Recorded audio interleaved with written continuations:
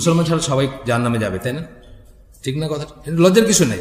এটা এটা এটা মাথা দুলাইতে এটাতে কোনো লজ্জা পাওয়ার কিছু নেই, সংকোচেরও কিছু নেই। মুসলমান ছাড়া সবাই সবাই জাহান নামে এটা আল্লাহর কথা, এটা রসুলের কথা। এটা বিশ্বাস না করলে আপনি তো আপনার আকিদাই অশুদ্ধ। মুসলিম ছাড়া সবাই জাহান নামে সবাই জাহান নামে যাবে আমাদের নবী আসার আগের চ্যাপ্টার আলাদা।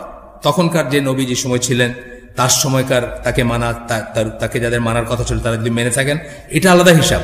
তো আমাদের নবী যেদিন থেকে আসছেন, যেদিন থেকে আমাদের দিন পরিপূর্ণ হয়েছে, যেদিন ওই যে সুরা মায়েদার তিন নম্বর একটা যেখানে আল্লাহ বলছেন যে আজকের থেকে তোমাদের জন্য, আজকে, আজকের দিনে তোমাদের দিনকে আমি তোমাদের জন্য পরিপূর্ণ করে দিলাম পারফেক্ট করে দিলাম এবং ইসলামকে তোমাদের দিন হিসাবে নির্ধারণ করে দিলাম। তোমাদের উপর আমার আমার ফেভার কমপ্লিট করলাম, সুরা মায়েদার পাঁচ নম্বর সুরা তিন নম্বর আয়াতে। তারপর থেকে পৃথিবীতে মাত্র দুইটা দিন আছে দিন আল ইসলাম দিন আল কুফর।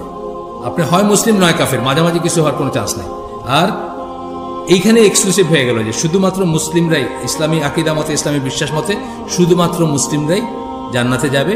যারা মুসলিম না, যারা মুশরিক, কাফের বা অন্য কিছু, তারা যত ভালো কাজ করুক, সেই ভালো কাজের রেকগনিশন এখানেই পাবে তারা। এখানে নোবেল প্রাইজ পাবে এখানে কারও নাম সেন্ট হবে, কারও নাম সাধু হবে, এখানেই সব শেষ। কেয়ামতের দিন এই ভালো কাজ কোনো কাজে আসবে না। এটা কিন্তু আকিদার একটা পয়েন্ট কিন্তু। আপনি যদি বলেন যে না, এটা মানে ভালো কাজ করছে, এরাও তো জান্নাতে যাবে আপনার আকিদার ত্রুটি হয়ে গেল, বুঝছেন না? আচ্ছা। বলতে লজ্জার কিছু নেই। এটা এটা আল্লাহর কথা বলতে লজ্জার কিছু নেই, সংকোচেরও কিছু নেই। যে যাই মনে করুক, এতে কিছু আসে না। দরজা খোলা আছে, সে তো ঢুকতেই পারে ঘরে। ঢুকে সেও জান্নাতি হতে পারে, ইনশাআল্লাহ। যদি কেউ আসে, অনেক মুসলমান হয়েছে না, অনেক আবুল হোসেন ভট্টাচার্যর বই পড়েন নাই, আমি কেন ইসলাম গ্রহণ করলাম? যে উনিও ভট্টাচার্য ছিলেন, উনি আবুল হোসেন হয়েছেন, এখন আমার ভাই উনি। উনিও, আমি আশা করি, আমরা দোয়া করি উনি জান্নাতি হবেন বা জান্নাতে যাবেন। কিন্তু এই এই দরজা দিয়ে ঢুকতে হবে, এই হচ্ছে কথা। যাই হোক।